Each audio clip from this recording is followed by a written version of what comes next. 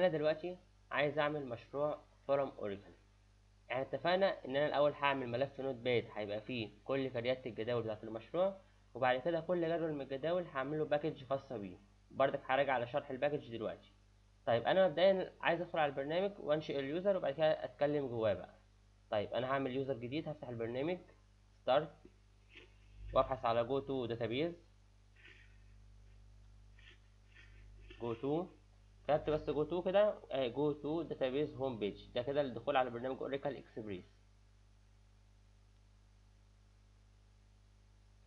طيب أول مرة بدخل بال user system يعني أول مرة بتختار ال user اسمه system ال password اللي أنت ما عملتها أثناء التسطيب يعني ال password اللي أنت كتبتها وأنت بتسطب البرنامج. واعمل login عايز أدخل بال user ده. طيب أنا عايز أكتب اوامر SQL أنا عايز اولا إن أنا أحفظ ال user عايز أحفظ أعمل user جديد وعايز أبتدي إن أنا أعمل جواه أوامر SQL أبتدي إن أنا أعمل بقى أوامر create وال package والكلام ده.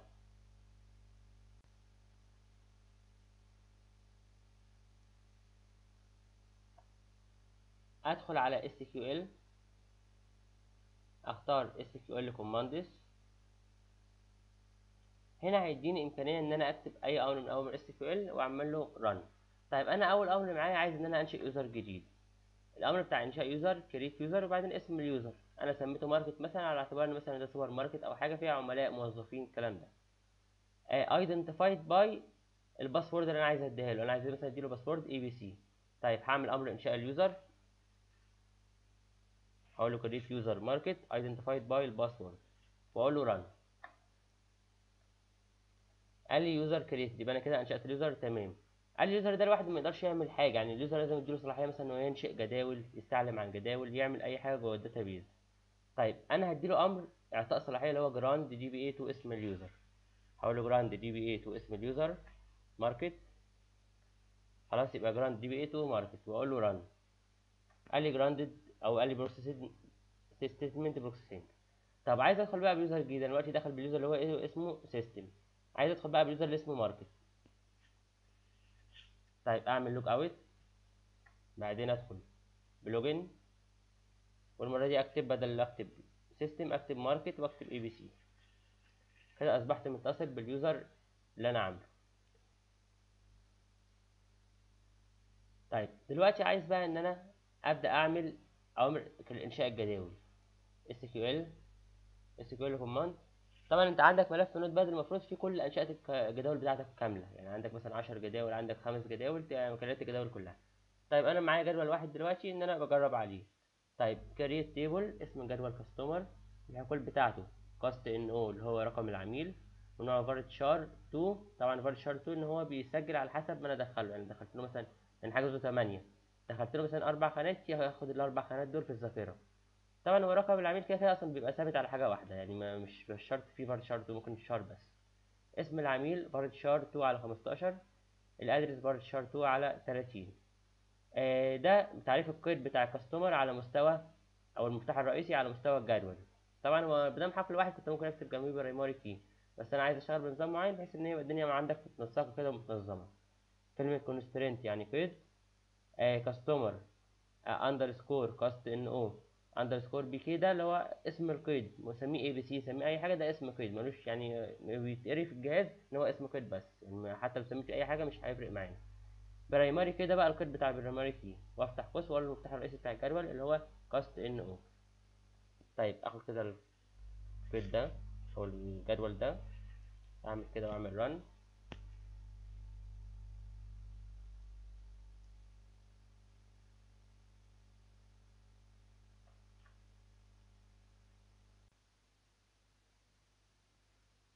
هدخل على SQL SQL command. وأبدأ أكتب أوامر إنشاء الجداول. طبعا المفروض أنت عامل ملف notepad في كل جداول المشروع مثلا في 10 جداول كده. أنا عامل بس جدول واحد إن أنا يعني حاجة للشرح. طبعا اللي هيتطبق على جدول هيتطبق على كل الجداول. طيب أنا عامل create table customer حقل ال cust NO النوع بتاعه varchar 2 وال cust name varchar 2 طبعا ده 2 على 15 ليه 15 يعني بحيث إن أنا ليه 2 لأن أنا لو سجلت مثلا اسم عميل حجمه مثلا من 10 حروف ياخد في الذاكرة على قد العشرة بس. أما لو كنت مستخدم النوع البياني بتاعي char بس كان ساعتها لو أنا حاجز مثلا 15 وجيت سجلت مثلا خمس خانات أو 10 خانات هيبقى واخد في الذاكرة ال 15 كاملين. لكن char 2 بياخد على قد ما أنا أدخله. طيب آه عامل constraint إن أنا عندي قيد. ده كده المفتاح الرئيسي على مستوى الجدول. هو طبعا لو مفتاح رئيسي حقل واحد ممكن يتعمل على مستوى الجدول أو ممكن يتحط هنا primary key مفيش مشكلة. يعني هو كده أو كده مفيش مشكلة. أو أما لو لو أنا عندي مثلا مفتاح رئيسي من حقلين دي كان لازم إن أنا أعمله على مستوى الجدول. هنا مش فارق معايا ممكن هنا أو هنا يمشي معايا. constraint ده اسم القيد اسم الجدول underscore اسم الحقل underscore PK. اختصار لكلمة primary key. اسم القيد ده لو سميته أي حاجة هيمشي معايا عادي. يعني وده مجرد بس حاجة إن أنا أميز بيها القيد ده عن أي قيد تاني. primary key ده بقى نوع القيد الحقيقي اللي هو primary key. أفتح قوسين وأقول له ال primary key ده على حقل كذا. طب حكايه الجدول ده اعمل create وأعمل run كده قال لي table created يبقى أنا كده أنشأت الجدول ده. طيب اتفقنا إن كل جدول من جدول المشروع أنا هعمل له package كل جدول هيبقى ليه package package دي حاجة زي ال class كده إن أنا أجمع فيها كل حاجة بتخص الجدول ده. طب أنا مثلا جدول ال customer عايز أعمل عمليه add update delete قال لي جوه ال package بقول حاجة اسمها procedure ال procedure ده العملية نفسها. عملية الإضافة عملية التعديل عملية الحذف كل واحدة من دول اسمها procedure يبقى أنا عندي ال package جواها مجموعة procedure ده كده المفروض إن إحنا نعمله حاليا. طيب أنا عشان أنشئ package اولا هعمل كودين حاجة اسمها ال package declare أو ال package نفسه وحاجة اسمها ال package body يعني أنا بعمل package و package body طيب إيه الفرق بينهم؟ أنا اولا عشان أعمل package جديدة بقول له create or replace package ممكن أقول له create بس بس أنا create or replace بحيث ان أنا لو موجودة عندي قبل كده وحبيت أعدل في أكوادها يقوم معدل لي عليها ما يقوليش بس إن أنا created قبل كده وخلاص. يعني كلمة create or replace دي لو حاجة موجودة قبل كده تقوم عامل استبدال ليها وعاملاها بالحاجة الجديدة اللي أنت عملتها جديد. create or replace package قال لي ده اسم ال package أنا عاملها customer فقلت له P customer P اختصار كلمه package customer سميها مثلا أي حاجة خلاص customer سميها زي ما أنت عايز بس أنا بميزها عن اسم الجدول. يعني الجدول بتاعي اسمه customer ال package سميتها P customer طيب بدل ما قلت له create package واسم ال package على طول ده اسمه ال package declare إن أنا أعرف ال package دي فيها إيه؟ بقول له is وبعدين أبدأ أقول له الدوال بتاعتي. يعني قلت له create or replace package اسمها كذا. is بعدين أبدأ ال procedure الأول. خلاص إحنا قلنا procedure يعني أي دالة أو أي عملية اسمها procedure اسمه add add new customer إن أنا أضيف عميل جديد. طيب ال add new customer دي هدخلها إيه؟ هدخلها رقم العميل ده متغير. سميته V C N O و V C name و V address دول اللي هما الثلاث حاجات بتوع الجدول. طيب نوع البيان بتاعه إيه؟ أنا عايز نوع البيان بتاعه نفس نوع الجدول يعني أنا كنت ممكن كنت أقول له varchar 2 خلاص varchar 2 على 8 بس لازم نوع البيان اللي هنا لازم يكون نفس نوع البيان بتاع ال customer اللي هنا. طب أنا كده البرنامج بتاعي يعني أنا لازم بقى لو حتى عملت حاجة غير حاجة يبتدي إن هو يديني error يديني مشاكل.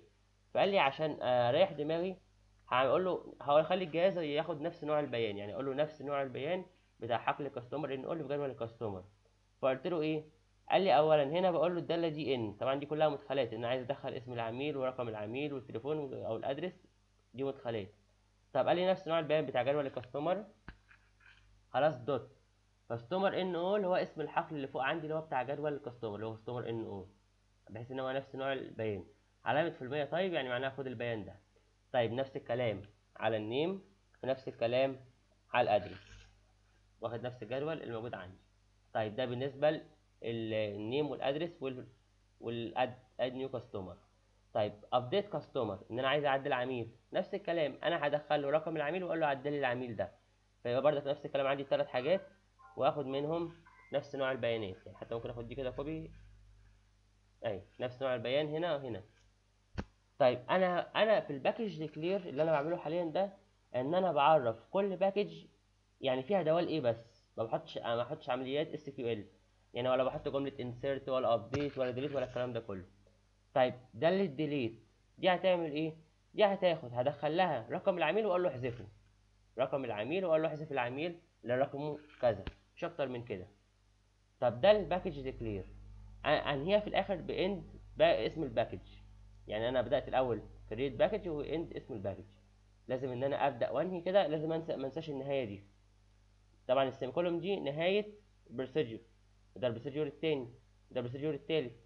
لكن هنا لما أقول له end اسم ال package يبقى أنا كده قفلت ال package كلها يبقى أنا كده حولت ال package دي كلها إن هي دي جزئية على بعضها برمجية. طب أنا هاخد ال package declare دي أحطها على البرنامج وأعمل run قال لي package created قال لي package created كده يبقى كل حاجة عندي تمام وأسامي الحقول تمام وكده. لو عندك أي غلطة بس مثلا في اسم جدول أو اسم حقل أو كده هيديني إن هو created بس مع الأخطاء. created مع الأخطاء. ممكن الاخطاء دي تكون أخطاء تمنعنا تشتغل ممكن تبقى أخطاء تمشي عادي. بس هو يعني بتبقى عندك أي خطأ في حاجة خفيفة. تراجع بردك الأكواد بتاعتك وتراجع شوف الخطأ عندك في إيه. طيب أنا كده دي كده ال package بتاعتي أهي. طيب دي ال package declare إن أنا اتعرفت ال package.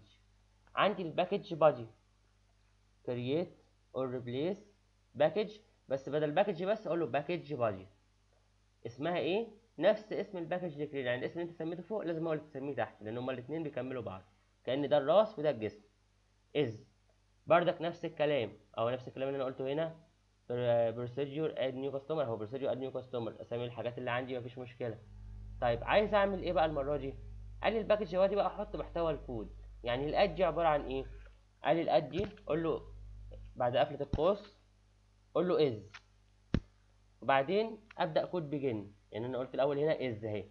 وبعدين أقول له begin طب دي إيه؟ add new customer اللي هي جملة insert insert into اسم الجدول customer values بعدين المتغيرات اللي أنا معرفها عندي. فوق هنا خلاص أبدأ بقى إن أنا أدخلها في مكانها. يعني أنا عامل ده مثلا في طبعا في ده أنا كلمة variable أنا اختصار كلمة variable يعني ممكن تسميه أي حاجة. بس بفضل إن أنا ما أسموش نفس اسم الحقل يعني نسميه أي حاجة ما عدا نفس اسم الحقل طيب أنا قلت له كده إن ال V C N O ده هيخش مكان أول خلية اللي هي بتاعت اللي هي بتاعت كود العميل.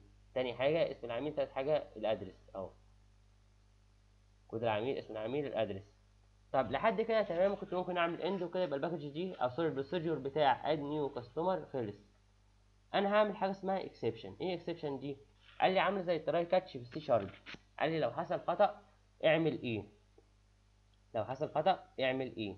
طيب أنا عندي الاخطاء ليها أسامي كتير. هبقى أرفق ملف كده مع الفيديو فيه أسامي الأخطاء اللي ممكن تيجي مع ال origin طيب الخطأ بتبقى عارف اسمه كده زي ما هو يعني تكتب له اسم الخطأ زي ما هو. طب بتقول له إيه؟ when اسم الخطأ then. ايا كان بقى اسم الخطأ بتاعك. يعني تبدأ بكلمة when اسم الخطأ then.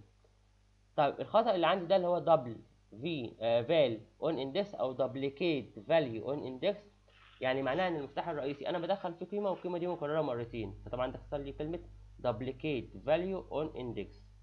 طب لو لقى الخطأ بتاع إن أنا بدخل قيمة مفتاح رئيسي مكررة مرتين. يعني مثلا رقم العميل بدخل قبل كده عميل رقم 10 وبدخله مرة ثانية اطلع له رساله طبعا دي معناها زي console dot write line اللي هي اطبع حاجة على الشاشة. اطبع له رسالة أقول له آه طبعا DBMS underscore put line أو output put line بعدين خرج له رسالة أقول له إيه؟ please enter other customer ID دخل customer ID مختلف عني طيب ده بالنسبة للجزء بتاع ال exception ده ممكن تعمله أو ما تعملوش مش فارق معايا. يعني انت حتى لو عملت كود كده من غيره هيمشي عادي مفيش مشكلة. طيب أنا عملت ال exception بحيث إن أنا لو خطأ عندي ده حصل أعمله هنا خلي بالك بال underscore وخلي بالك من الاسم الاسم كده زي ما هو. ميزة اللغة دي إنها مش حاسسها الكابيتال والسمول يعني حاجة عملتها capital وهي small أو small و capital مش فارق معايا أصلا capital و small اللي فارق معايا ال underscore في مكانها أسامي الحاجات تكون زي ما هي كده. طيب بعد ما خلصت الكلام ده كله في الآخر أقول له end طبعا أنا بعمل أول procedure اللي هو بتاع add يعني أنا كل ده جوه ال package اللي اسمها P customer بعمل أول procedure اللي هو add new customer طيب الحقول بتاعته وجمله ال insert بتاعته بعد كده أقول له end add new customer يبقى أنا كده نهاية الداله بتاعت add new customer طب ده بالنسبة لل add. ال update نفس الكلام. أنا عندي هي المدخلات بتاعتي خلاص اتفقنا عليها.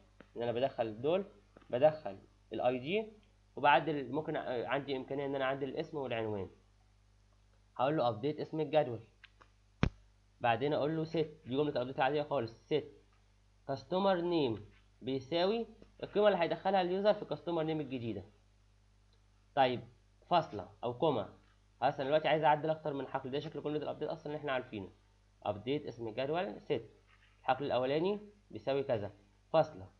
الحقل الثاني address بيساوي القيمه بتاعته. طيب أنا لو سبت الجملة على كده هتشتغل عادي بس هتعدل لي كل العملاء هتخلي أسميهم بالاسم اللي هو هيخش عندي.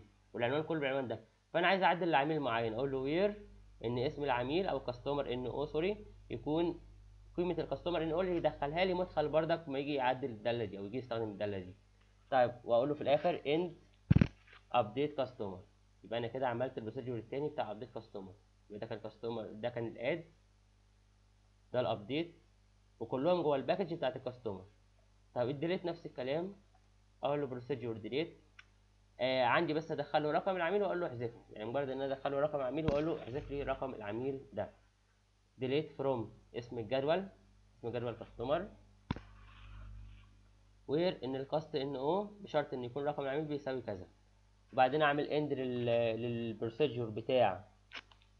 ال procedure بتاع ال delete أهو كده end ليه. وما انساش في الآخر خالص أعمل end لل procedure sorry لل package كلها. ده end بقى لل package كلها أو لل package body كلها.